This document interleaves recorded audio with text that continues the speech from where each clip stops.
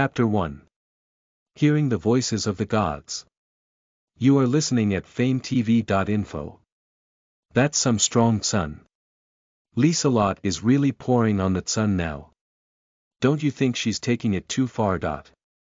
To describe Lieselot's move in a nutshell, it would be, let me join in too. But even if that's her intention, her overly haughty attitude and tendency to excessively beat around the bush have caused her to become misunderstood, don't you think? It seems that His Highness's opinion of Lieselot has worsened once again. Oh, what a precarious development, in the tense atmosphere of the courtyard, the strange voices of a man and a woman rang through the air, the man's voice was strong and passionate, whilst the woman's was calm and measured, the voices that sounded like opposites formed a magnificent duo, and their sonorous call seemed to descend from the heavens. Later, when the history books were written, they would become known as Play. by Play Endo. Koen and the color commentator Kobayashi. San, revered as two of the upholding pillars of the divine pantheon of gods. Just what is it that you think you are doing here? The moment a beautiful girl with curled blonde hair and striking violet eyes called Lieselot, who was both the daughter of Marquis Riefenstahl and my fiancée, entered the courtyard, I knew that whatever happened next would give me a headache. A. Ah, that's. It's just. There's something I didn't understand in the last class, so, the girl who spoke back to her as she tried to close up the textbook that had been open on her knee until then in embarrassment had rosy blonde hair and eyes the color of the sky. Her name was Finn, a friend I had made recently. As she sat beside me on the bench, she seemed flustered over whether she should stand up respectfully or remain seated, so I decided to calm things down with a hand. When I saw that she was troubled, I decided to help her study. Why are you here, Lieselot? After I affirmed Finn's words, Lieselot gave me a silent curtsy before opening her mouth again, my fiancé is spending time alone with another woman, it seems. Or at the very least, that's what some kind passers-by told me as I was walking through the courtyard. I merely wished to witness it myself. Oh, this really is going to be a headache, I thought to myself miserably when her venomous tone and angry face didn't match her polite speech at all, there isn't anything that you need to be concerned about. We are simply discussing magic theory in a public courtyard. I am sure that your Highness Prince Sigurd has no ill intentions, but can anyone know what her true motives are?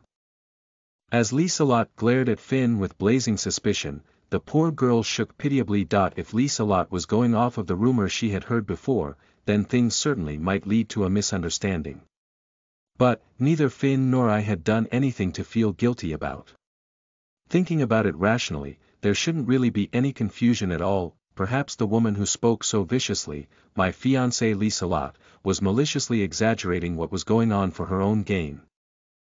What was I going to do about that? Well, it certainly would be difficult for a commoner who has never received a proper education to comprehend the teachings of the Royal Academy of Magic. If you like, perhaps I could instruct you. Ah. Does Miss Finn only wish to be instructed by a handsome gentleman instead? Lieselot had to take things one step further before I could open my mouth to attempt to talk to her and calm her down that that some strong sun. Lieselot is really pouring on the sun now. Don't you think she's taking it too far. Dot. To describe Lieselot's move in a sentence, it would be, let me join in too. But even if that's her intention, her excessive avoiding the point and typically pompous attitude means she has been misunderstood, don't you think? It seems that Lieselot's favor with His Highness has fallen once again. Oh, what a precarious development. From the heavens, the voices of the gods, resounded. Why did Lieselot make that move? Even if she was just saying that sarcastically, His Highness won't take it well. Why can't she just understand Thaat? The man's voice was somber and filled with regret that I looked around inadvertently, but I couldn't see anyone, neither Finn who was sitting next to me nor Lieselot, who had been directly mentioned, seemed to notice anything at all. Meanwhile, Lieselot continued to glare angrily at me as Finn, who was shrinking smaller and smaller in her seat by the second, glanced towards me anxiously. That is because Lieselot is what we call a tsundere. She's genuinely worried about Finn. Chan's reputation in a situation like this, but because she loves His Highness so much, her words got twisted jealousy, and she can't express herself honestly. I could barely comprehend what the calm womanly voice was saying in my shock. L. Love. Who? Jealousy. What does tsundere mean, your highness, is there something wrong? Noticing the sudden strange look on my face, Lieselot's angry expression turned to one of worry as she stared at me. Ah, no, it's that just now I heard the voice of God, that's right, these were probably the heavenly messengers that only the royal family could hear, the voice of God. Despite realizing that, the current situation was so far outside of the norm that I could only answer weakly, my voice trailing away. The reason why my family came into power in this country was the ability to hear them that we are a family that can hear the voices of the gods who reside in a higher plane, the heavenly voices of the gods descend from the heavens and teach us various things, such as unheard of knowledge and secrets of the future.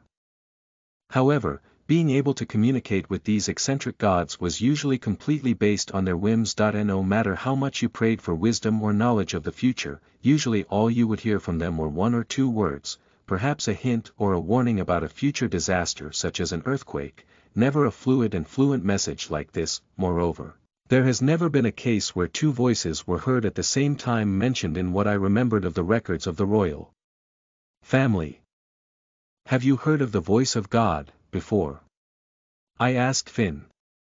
As I explained the ability passed down in my family to her, I glanced sideways at Lieselot, my thoughts cloudy, assuming the voices I heard just now really were gods and I believed them, then this girl was in love with me, certainly, if I thought about it, Lieselot has always been stubborn around me, why did His Highness Prince Sigurd start thinking about Lieselot all of a sudden. Dot.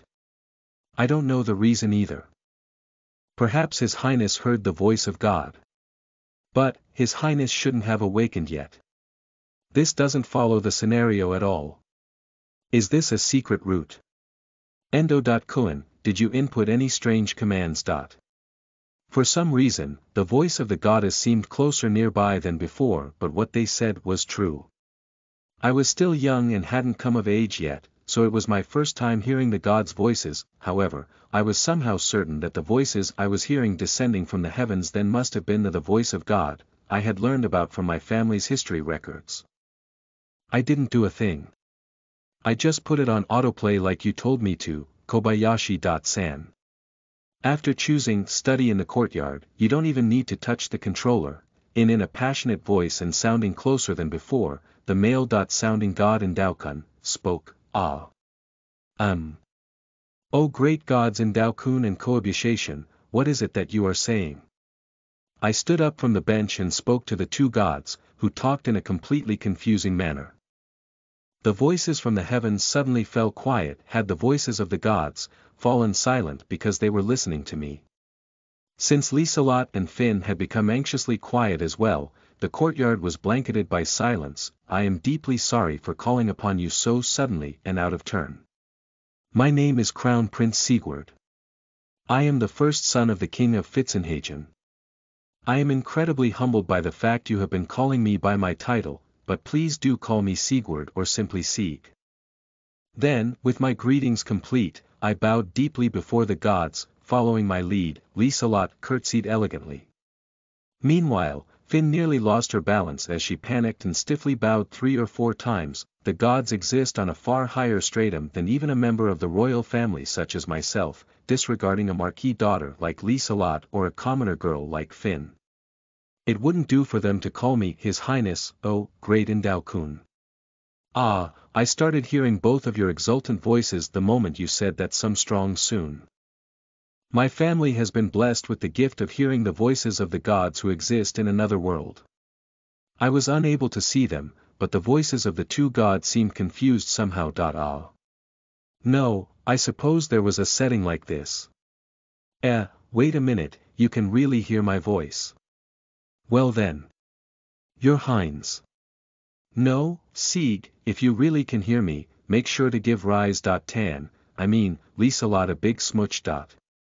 Smo, Kobayashi-san's words left me completely gobsmacked once again. Had she just told me to kiss Lieselot, it was a terrible thing to consider, but all the same, they were still instructions given by God. As royalty. No, as an inhabitant of this world, I had no choice but to obey I in any case, Lieselot is my fiancée that I should be forgiven for at least one kiss. Still, doing it in public would be disgraceful, ah, but, those were the instructions of God, as my thoughts spun around in my head, I stepped towards Lieselot, cupping her cheek with my right hand. Why your highness? She stiffened up as she looked at me, her eyes wide with confusion, God had commanded me, but even so, this was a public courtyard, there were so many eyes on us, but, actually, Lisa cheek was unexpectedly soft, the skin under my fingers was a beautiful pale hue, her glossy lips were a cherry dot shade of pink, W. What are you, HN?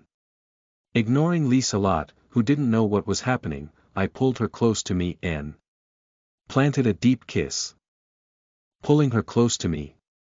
Listen to the full novel at fametv.info, direct link in the description.